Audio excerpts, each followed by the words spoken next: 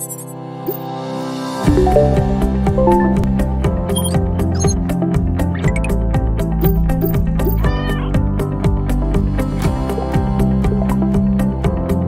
Yuri. Your mitochondrial DNA results are ready. Let's begin your journey.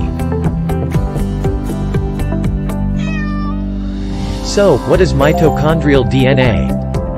Mitochondrial DNA, also known as mtDNA, is passed down from mothers to their children. While both males and females inherit their mother's mtDNA, only the daughters will continue passing it throughout the generations. Tiny changes that occur approximately every 3,500 years allow us to trace one's maternal ancestry back to the most recent common maternal ancestor of all living humans. We all share a single mother around 200,000 years ago. Some descendants of our shared mother left Africa migrating into the Middle East around 70,000 years ago, on their way to populate the rest of the world. As humans migrated, different variations of mtDNA were passed down establishing the mtDNA tree. A branch of this tree is called a haplogroup. Haplogroups differ from each other by a varying number of tiny changes, referred to as mutations. You belong to the maternal haplogroup branch U. Haplogroup U is believed to have originated in Asia 50,000 to 60,000 years ago.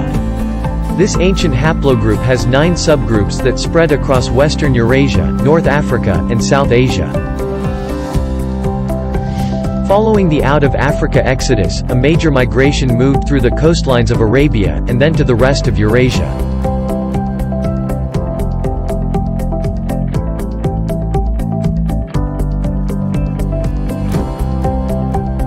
Today, haplogroup U is found at up to 15% across its distribution range. Your most refined haplogroup, U5A1A1, represents part of the primary population of Europe.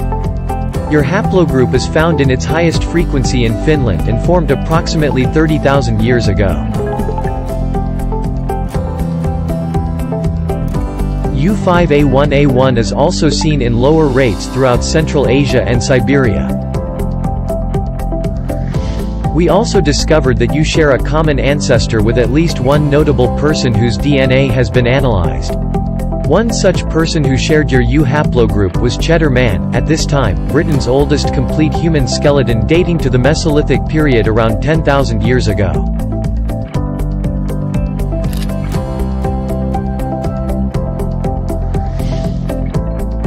Now it's time to find your closest matches. Remember, you and your close matches may share a common ancestor just a generation ago, or up to a few thousand years ago. Matches also help to reveal your presumed origin. Hey, you might get lucky and find a new cousin. We have identified your 10 closest matches. 7 individuals, 0 steps apart from you, 3 individuals, 1 step apart from you. A step is the number of mutations you differ from a match. You can even choose to connect with them. It might be the beginning of a beautiful relationship. We'll notify you when we've discovered a new match that has joined the database. You can also sign into your account for updates.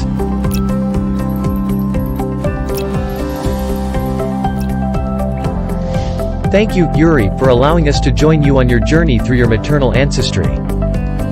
We encourage you to share your journey of discovery with friends and family.